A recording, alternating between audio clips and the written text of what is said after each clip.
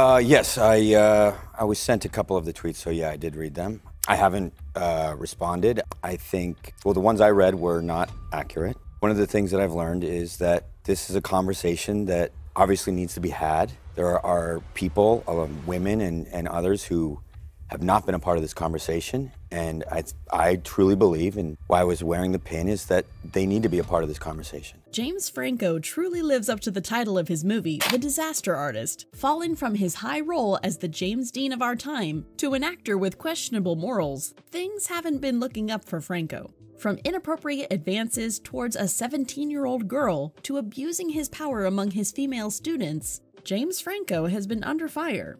Who could have guessed that their gorgeous celebrity crush was actually an abuser in disguise? Should have listened to the celebrities who warned us about James Franco's behavior. What? That's right. If viewers had paid attention, they would have seen various celebrities highlighting their experiences with James Franco and exposing him for his crude behavior and personality. Like I said, you know, um, there are stories that need to get out. There are um, people that need to be heard.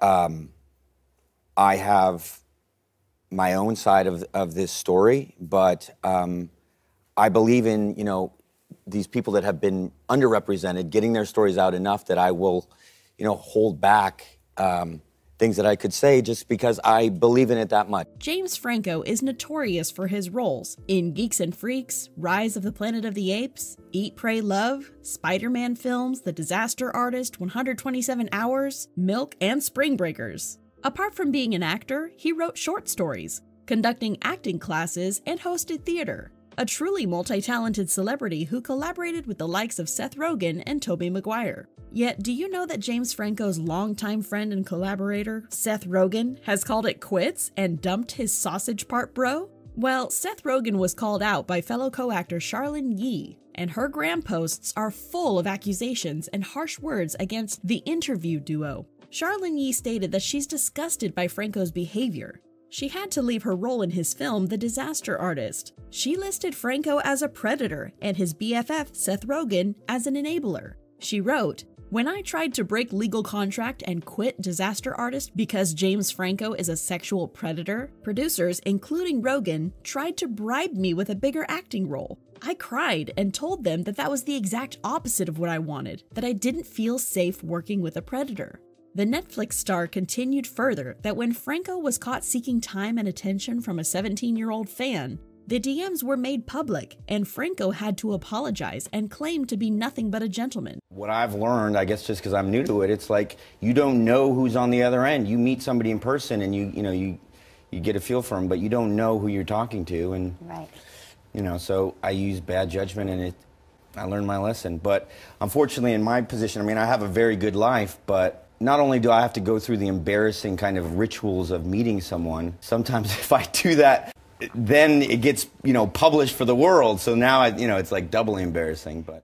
The whole incident was turned into a joke during Saturday Night Live when Seth Rogen joked about pretending to be a 17 year old girl and got Franco to meet her at a hotel. Quoting this incident, Charlyne Yi further warns the fans about Franco's behavior and called Rogen an enabler. There is no way your friends wouldn't know about your behavior. Because of women filing lawsuits against James Franco in October of 2019, and due to Charlyne's accusations, there's hypocrisy.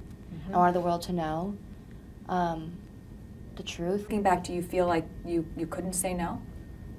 Um, no, I could have said no, but because of the power dynamic, this situation was so surreal, and I wanted him to like me. He's definitely got two personalities. Um, and that doesn't mean he doesn't have a great sweet side, but when he has his other side, it's the complete polar opposite. The impression he gave me of the industry deterred me from pursuing a dream I thought I always wanted. I don't even know what I'm allowed to say. That's the scary thing. Is like I'm terrified for my career. A lot of nudity and scenes that felt that they weren't that I felt were not artistically justified and were added in after the fact. I, I don't care about any of that. I'm just more disgusted by the way he's lying. Seth Rogen dumped his best friend and claimed that he isn't a supporter of inappropriate, crude violence. The comedian and producer told the Sunday Times that it isn't a surprise nor a coincidence that he and Franco are no longer collaborating after the allegations. He confessed that he highly regrets his unfair and terrible joke on the show SNL, further stating that the allegations had changed so many things in their relationship and dynamic. What I can say is that I despise abuse and harassment, and I would never cover or conceal the actions of someone doing it, or knowingly put someone in a situation where they were around someone like that. Apart from Seth Rogen, another celebrity came forward and heated Franco for his awful temper. Through her experience in Freaks and Geeks, she warned those who might potentially work with him. Who's this? Busy Phillips. She published a memoir in 2018 where she calls out James Franco for being a bully and assaulting her on the set. She wrote that in the script, it was instructed that Phillips had to tap Franco in the chest gently. He, Franco, broke character and grabbed both of my arms and screamed in my face, Don't ever touch me again. Then he threw me to the ground, flat on my back, wind knocked out of me. Although James Franco apologized involuntarily the next day, Phillips' claims are further backed by Franco's ex students in his acting schools, who stated that Franco had a short temper and would storm off if one decided not to perform a certain vulgar scene. Another James Franco's co star, who is also famous for her role in The Breakfast Club, Ally Sheedy, dragged Franco. Upon receiving a Golden Globe for The Disaster Artist in 2018, Franco's career was at its high.